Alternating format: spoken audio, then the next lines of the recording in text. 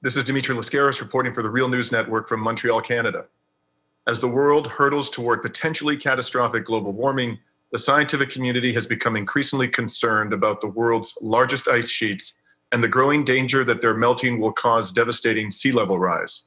Of particular concern to scientists is the melting of the Greenland ice sheet. Scientists estimate that it contains enough water to raise global sea levels by an average of about six meters or 20 feet.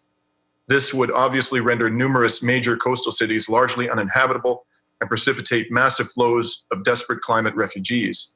Now, a new study has revealed what many would have thought unthinkable until now that parts of the massive Greenland ice sheet are melting even in the frigid Arctic winter. Now, here to discuss this with us is one of its co authors, Dr. Neil Fraser. Dr. Fraser is a specialist in ocean physics. In 2013, he began looking at the mechanisms linking ocean warming on the melt rates of the Greenland ice sheet, and he is now a postdoctoral researcher at the Scottish Association for Marine Science. His current research looks at large scale North Atlantic circulation and its role in the climate. Uh, he joins us today from Oban, Scotland. Thanks very much for joining us today, Dr. Fraser. Hi, Dimitri. Thanks very much for having me. So before we get to your study, uh, Dr. Fraser, I'd like to start by talking about the importance of the Greenland ice sheet to global sea level rise. Relatively speaking, how much is that ice sheet contributing uh, to current sea level rise? Sea level rise can be partitioned into a few, diff- a few different factors. The, the, the main um, contributor is actually the expansion of the ocean as it warms, so the thermal expansion of the water is accounts for I, I, think just under half of the observed sea level rise. Um, after that, we have mechanisms for transporting land ice uh, into the water, so melting of land ice. That's the ice in uh, um, terrestrial glaciers in places like the Alps, Himalayas, in mountain ranges, which are melting.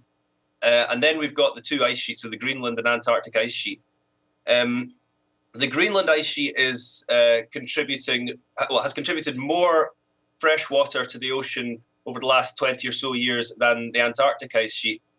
So, although the Antarctic ice sheet contains many times more ice than the Greenland ice sheet, it's the Greenland ice sheet which has been losing the most ice over the last 20 or so years. And this seems to be increasing year on year, um, indicating that the Greenland ice sheet might be past some kind of tipping point whereby uh, we, we're not sure whether that ice will be recoverable.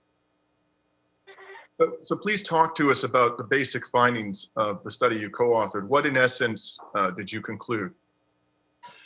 So, we know that the Greenland ice sheet is melting, and the, the patterns of melting indicate that it's happening more around the edge than in the interior of the ice sheet.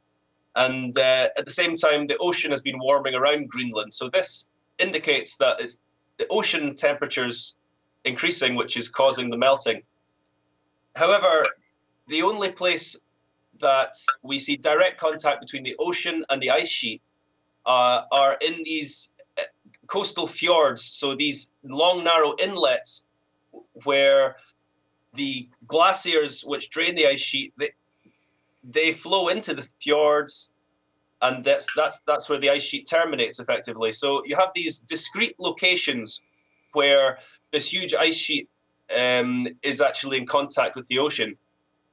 It's therefore critical that we understand exactly how warm ocean water gets into the fjords, how much heat is transported into the fjords um, via the ocean, um, and you know when and why this is happening.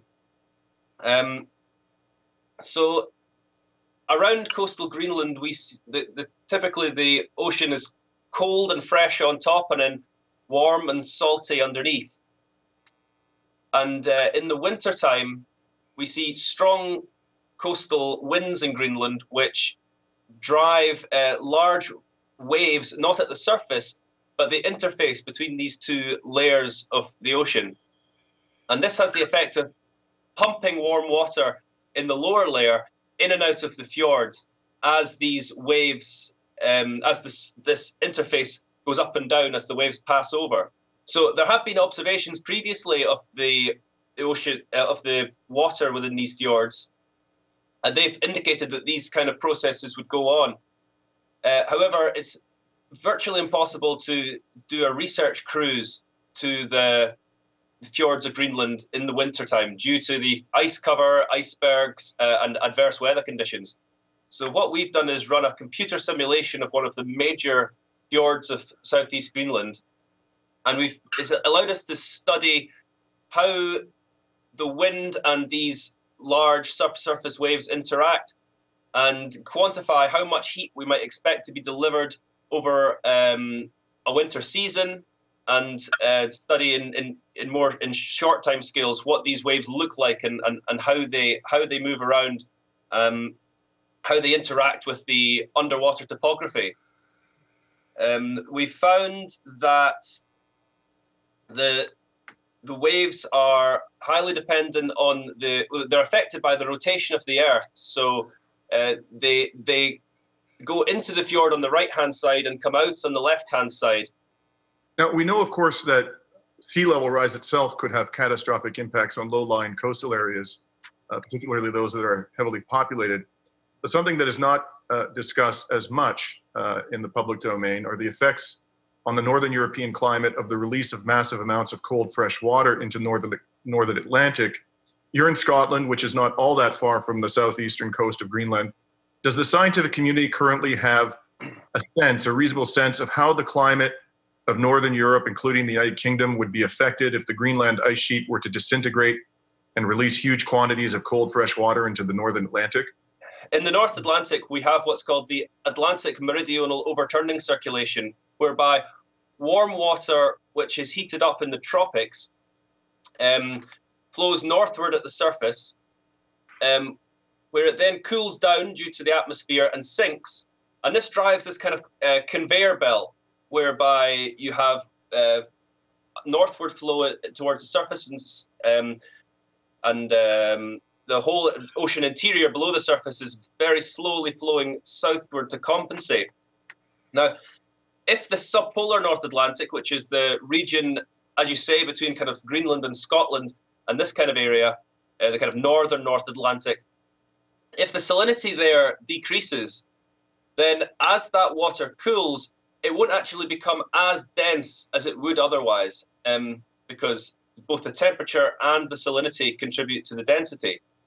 So it will cool down, making it more dense, but it won't have the salt content to allow it to sink as far as it would have otherwise. And that'll actually weaken this overturning, um, this conveyor belt. Uh, and the effect of that would be that the, the, the warm water being draw, drawn northwards in the upper layer would slow down, and that would have uh, obviously large effects for the European climate um, because it's really the it's the North Atlantic Ocean and northward flow of warm water that gives the European climate warm compared to the same latitudes uh, on the other side of the Atlantic around Canada. Um, so, so, despite the overall trend of global warming in those circumstances, that particular part of the world, Northern Europe, could see a considerable cooling of the climate. Is that correct? Um, potentially, yeah. Um, that's that's right. The Greenland ice sheet does continue to accelerate in its melt rate, as we've as we've seen. Then we can expect the freshening of the subpolar North Atlantic to have really drastic effects and, and slow down this AMOC, um, the, the, which is the conveyor belt bringing uh, bringing warm water north. So we've been speaking to uh, Dr. Neil Fraser about a new study suggesting that parts of the Greenland ice sheet are melting in winter. Thank you very much for joining us today, Dr. Fraser. Thank you. And this is Dimitri Lascaris reporting for the Real News Network.